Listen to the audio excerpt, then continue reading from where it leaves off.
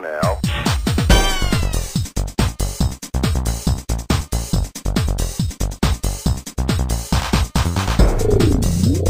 You might be missing some of the benefits that stereo can provide.